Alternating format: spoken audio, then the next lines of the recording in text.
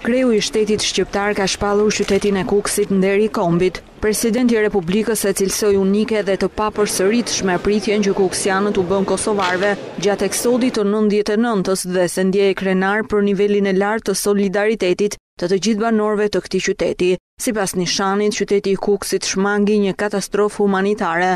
Nuk lejuat që kriza e refugjatëve të shndërrohej në një katastrofë humanitare, çfarë në atë kohë Milosheviqi e dëshironte padyshim për të akuzuar më pas edhe Perëndimin.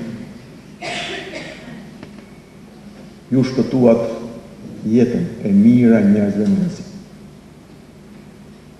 Ju u kujdesët. Për qindra e mijëra të tjerë të sëmurë, nëna shtatzënë u kujdesët për të plagosur,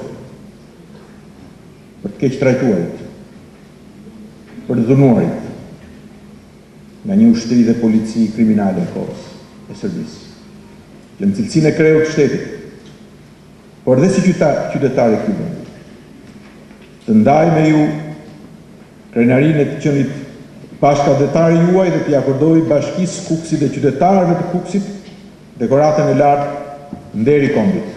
Në vitin dy mijë, Kukësi ishte qyteti i parë që u kandidua për Çmimin Nobel për Paqen. Kukësi priti në vitin një mijë e nëntëqind e nëntëdhjetë e nëntë më shumë se gjysëm milioni banorësh të ardhur nga Kosova, për shkak të shpërnguljes me dhunë nga forcat serbe, të cilët u strehuan në kampet dhe shtëpitë e kuksianëve, ndërsa katërqind mijë të tjerë kaluan përmes këtij qyteti për t'u vendosur edhe në qytete të tjera të Shqipërisë.